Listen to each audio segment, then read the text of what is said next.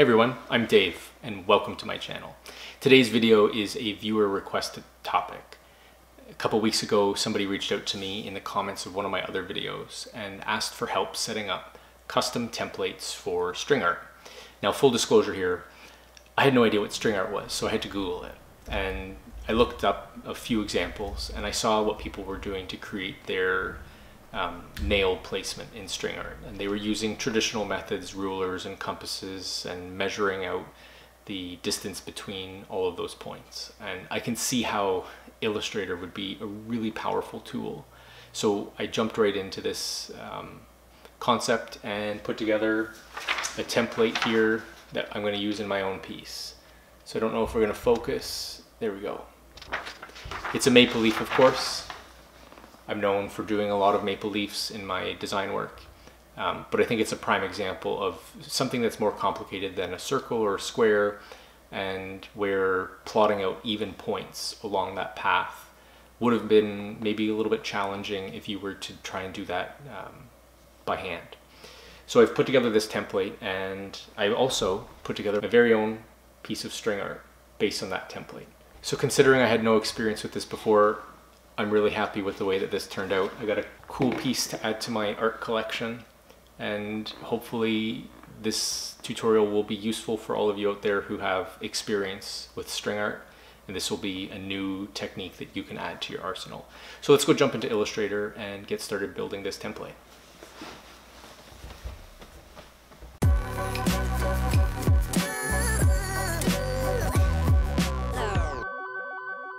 Okay, here we are in Illustrator, and like most projects, the first thing you need to do is create a new document.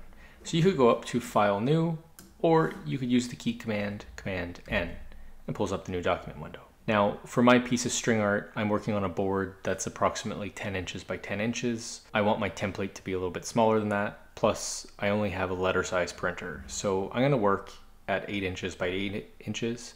Feel free to work at any size that you've got the printing capability or whatever canvas size you feel comfortable with, but try to make that accurate. So eight inches by eight, eight inches is gonna be good for me today. And I'm going to work with a maple leaf. I'm not gonna show you how I created the maple leaf because I'm assuming that you're gonna be working with something else, possibly a logo, possibly some basic geometric shapes. But for the effect that we're creating today, the creation of the path isn't the important part. So I'm gonna paste in my maple leaf. I'm gonna size it up just a bit so it fills my page. I'm gonna make sure it's centered. So I know my eight inch by eight inch canvas, four inches is the center point. And I'll just make this 7.25 just to control the size mathematically. So here's my maple leaf and I want to have a series of points plotted all, all the way around. And doing this manually would be quite tedious. So if you had the circle tool and you were to create a series of circles and drag out copies, you would be here forever and your end result probably wouldn't be all that accurate. You'd have a better chance of just freehanding this on your own in real life.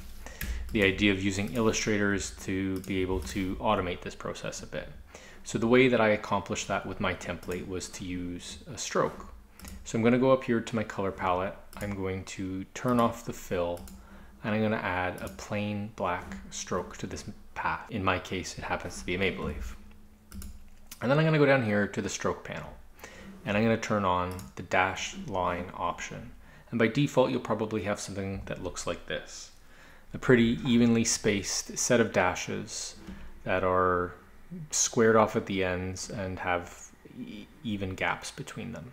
And this is good if you are trying to create a coupon, but we're trying to create a guide for driving nails into board for string art. So not the, not the effect we're going for. The way I created circles out of these um, lines here was to reduce the dash size to zero. And then you'll see just the remnant that this almost almost not visible line. And that's where our zero point dashes are falling on this line. What we can do though is add a round cap to that. So the dash is zero, but we end up with a round cap on either side of it and it creates a circle. So that's getting there with the effect that we're going for with this template. Obviously these points are plotted far too close together, so we could just increase the point size here in the gap to something like that. And that's probably a pretty comfortable looking space between everything. But what you'll notice is in some cases, our points are not falling directly on the corners or edges of the path. And for this string art template, that won't do because you'll end up with a wonky looking shape once you start stringing it all together. So we want to make sure that these points fall on the endpoints of this path. And the way that you accomplish that is just by turning on this option over here. Align dashes to corners and path ends, adjusting lengths to fit. And what will end up happening is your points will fall on the corners now and potentially some of the spaces between them will be adjusted by Illustrator to not be exactly the gap distance that you specified over here. But, but that's all right. That's something that we can live with because this is now going to give us points that are plotted directly on all of the corners. For vis visibility's sake, when you print this out, you might want to increase it to two points just to make it, everything a little bit easier to see. And then you can use the keyboard command, Command P, to bring up your print dialog box and print this out on whatever printer you've got set up. Then from there, you'd go ahead and set this up on your board, drive your nails into it, rip out the piece of paper, pull out any chunks that get left behind, and start stringing together your piece of string art from there. Now, this maple leaf was the way I wanted to take this project, but I'm sure there's many different ways that you could approach this. But now that you've got the technique down, it would be very simple for you to go ahead and use any other um, shape that's found here inside of the Illustrator um, default dialog box. You could use the pen tool to create your own shapes. You can bring in logos and work with those. Um, another thing that I thought would be interesting would be to start with a basic circle. So I'm going to use the ellipse tool and I'll create a circle that looks something like that. I held down shift and option to constrain it and set my center point. And by default, the same stroke options that I had set before are still active, so that's great. Then I was thinking it would be cool to kind of create a two-tier piece of artwork where you've got the outer shape or border and then you've got something in the middle. So I thought a typographic element would be kind of cool. You can set this to a typeface that you like. Um, I'm going to use Bison. I bought that a while ago and I've been using it on a lot of projects. And I'm going to use my last initial, so W, and I'll scale that up, place it in the middle, and I think this would make a really neat piece of string art where you have a secondary shape inside of your outer shape.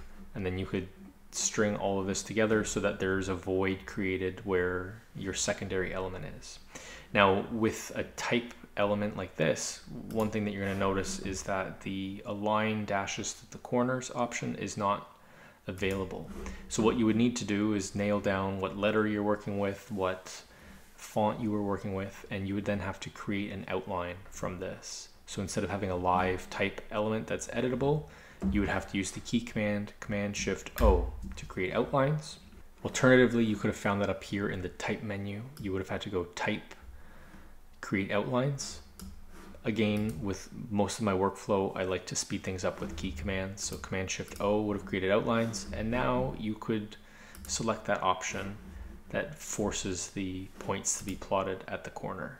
So there, as you can imagine, setting a template up like this inside of Illustrator should probably save you a lot of time um, because building one of these manually, trying to plot out the points for letters or logos or complicated shapes, I think would be quite a tedious process. Here in Illustrator, you can accomplish it in just minutes.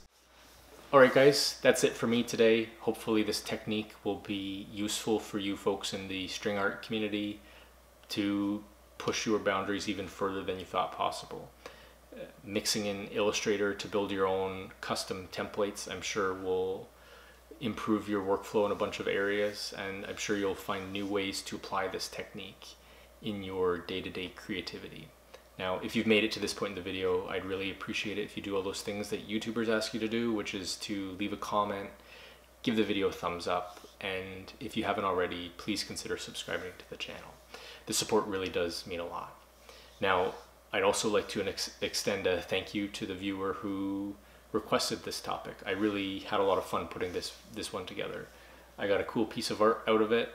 Um, it's a technique that I probably wouldn't have explored if it wasn't for your suggestion. So thank you very much, and hopefully this is what you were looking for. Hopefully you're going to find it useful, and hopefully others out there will get something out of it as well. So that's the goal for my channel is to help everyone out and to become better uh, creatively along the way. This is a perfect example of that, and I'm really happy with everything. So thanks again, and hopefully we'll see you around in one of my other videos.